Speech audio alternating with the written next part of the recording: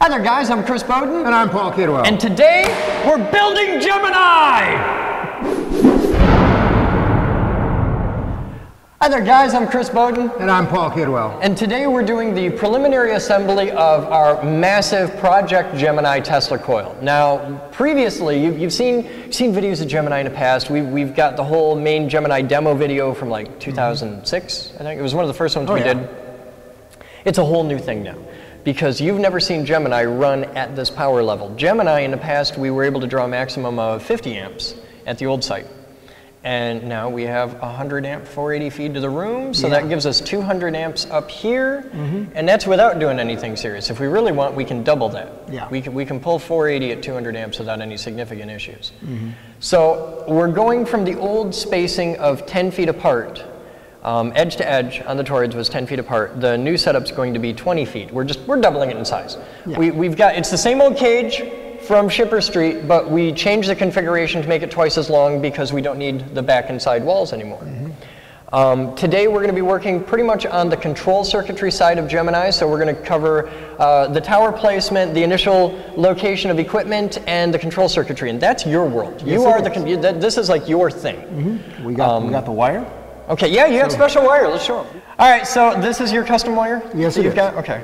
And it's uh, 18 gauge, 10 conductor. Okay. It's plenum wire. It's not jacketed. And what does plenum wire mean? I have no idea. I'll let you Plenum wire means that you can safely run this through um, heating plenums and stuff like that. Ah, okay. Um, it's it's a fireproofing thing. It's it's for running it up like raceways and things like that. Okay. Um, but yeah, it's a, it's a fire safety thing. We're putting this inside conduit anyway. Okay. But we're going to run two lengths of this. In this room, everything's inside conduit. That's true. We're going to run two lengths of this through the conduit, so we'll have 20 conductors going from the control cabinet to the Variac cabinet. And Okay. We've got the Variac cabinet over there, and we've got the control cabinet over there, so my job is to run the conduit around and over. around the corner. So we can probably pull this off in three-quarter conduit. I wanted to do it in inch and a quarter, um, just because we had we used to have the dual things, Mm-hmm. but I don't think we have as many wires. As, well, we do, but now they're they're way tighter and better. They work tight, yes. Um, So, so do you think you can get two of those plus six 12 gauge wires through a three quarter inch piece of conduit? I think we can cut off six inches of it and test. I think we can do that. I mean, that's okay. Let's do an experiment. Okay. Okay, I'll go. I'll go get six inches of three-quarter conduit. Okay, and I'll cut some of this off.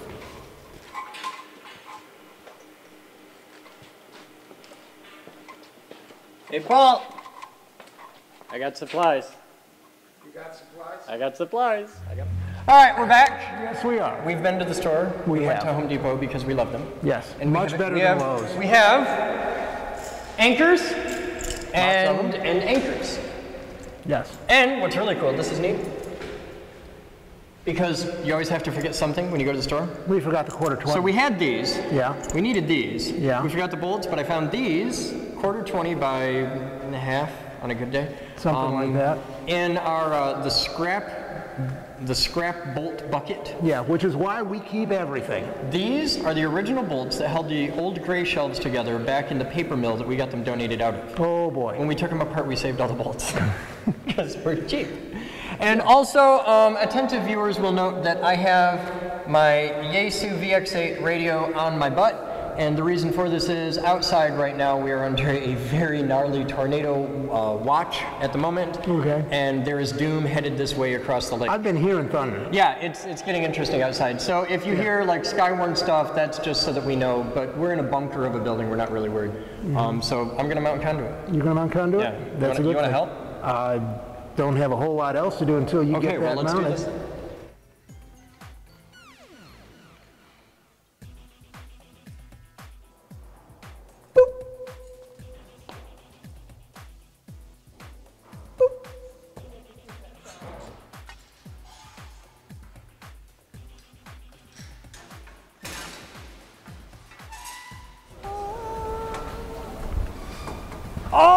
Yeah. Okay.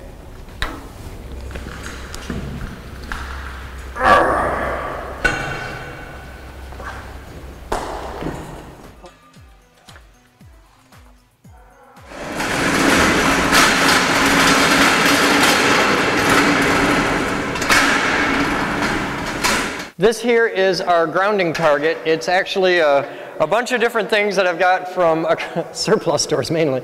Uh, here, let me show you. I'll break it down. I got to get this piece out.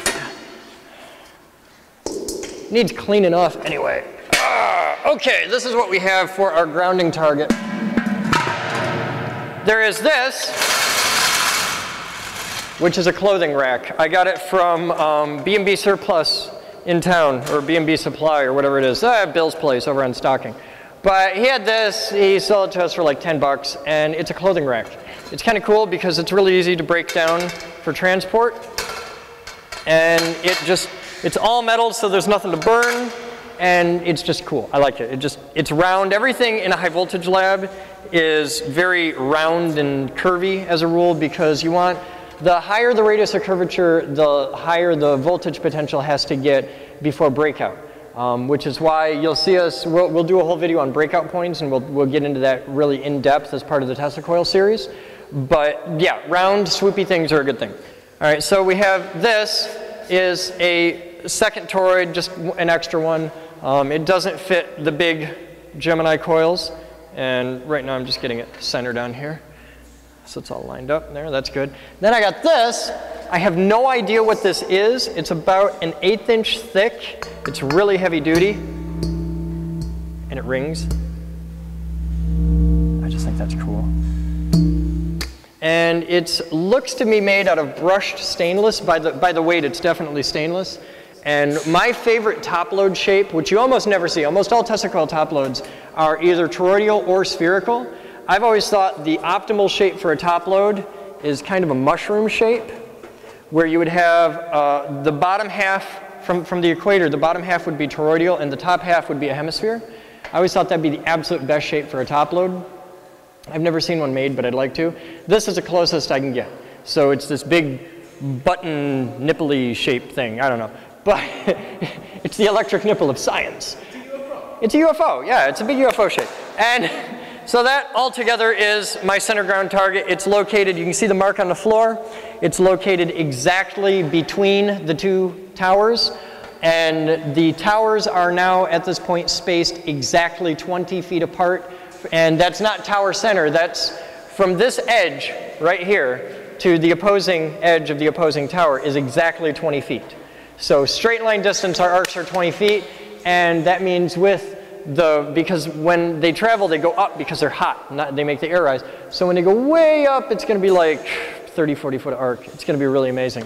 So we're gonna have a lot of fun in this room. Now, whether or not we can actually hit each other at that distance without hitting the walls and the cage and the ceiling and everything else, we don't know, but there, there will be a lot of tweaking. The final spacing of the towers will be the maximum straight line separation we can have without arcing straight to the ceiling and whatnot. So it's going to be a fun time. But this is the initial placement for everything is, is hope to go.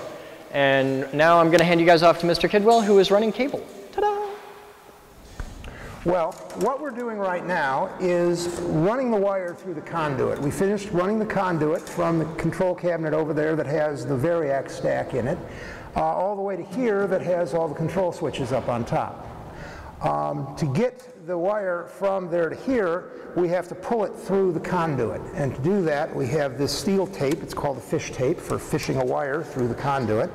And I rotate this to pay the wire out, or the fish tape out rather, and insert it down through. It's very stiff, so it can make it around the curves that we put in the conduit and at some point it will come out the other end over there.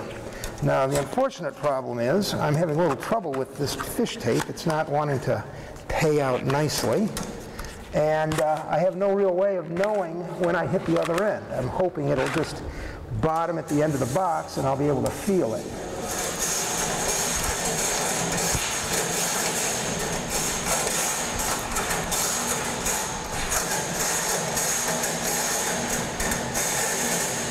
There it goes. Got to be getting close. That had to be the last bend. Grab it and pull it out, please. And there it goes. Okay. We needed good. We needed all we needed almost all the length there to get all the way through. Okay, I will put this back together again.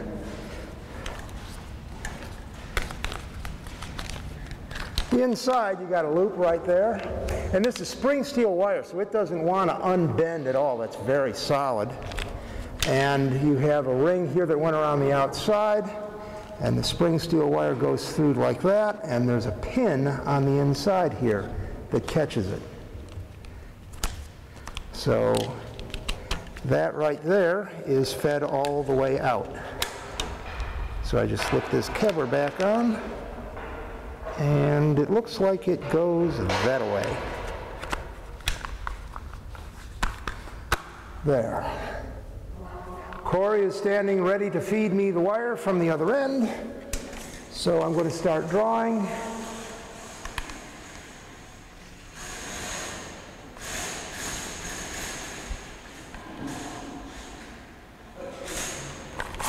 And reeling in as we go. Okay, pulling Corey.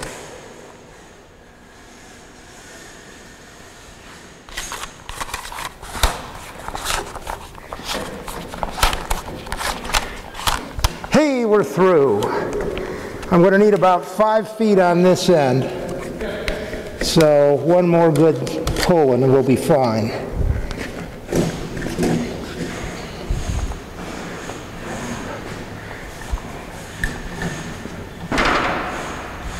More than enough. Yes. And as you can see, we were coming real close to losing it right there. That hook right there, we were just holding on that one wire and that cable was dragging the rest through. But we made it. Yay.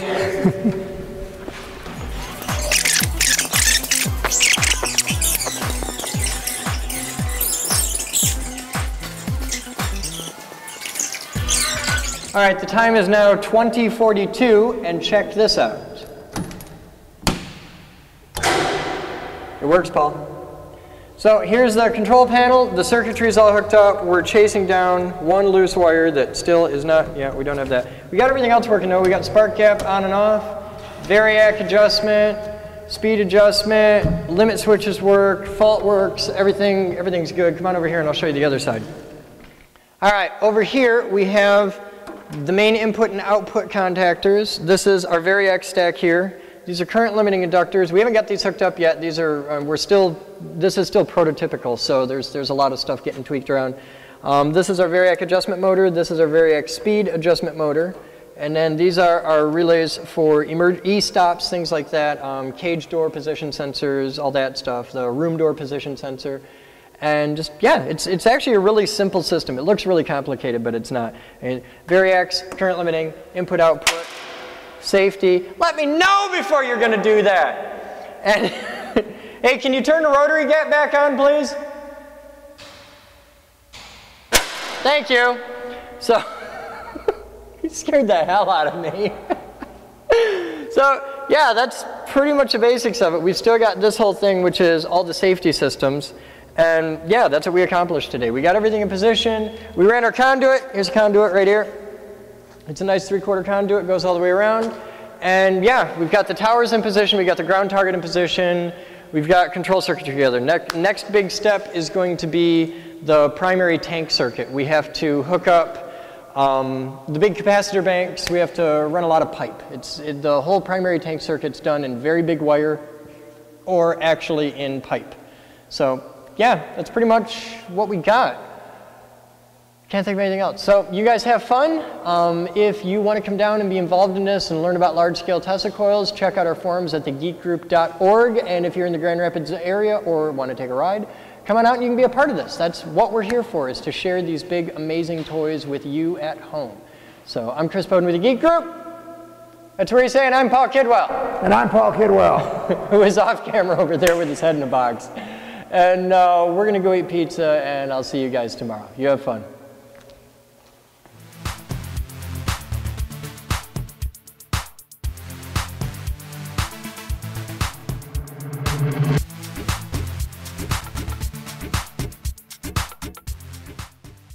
Video was made possible by a grant from the Future Girl Foundation.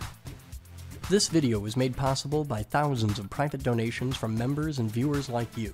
Please visit thegeekgroup.org for for more information on how you can donate and become a part of our dreams of Avalon.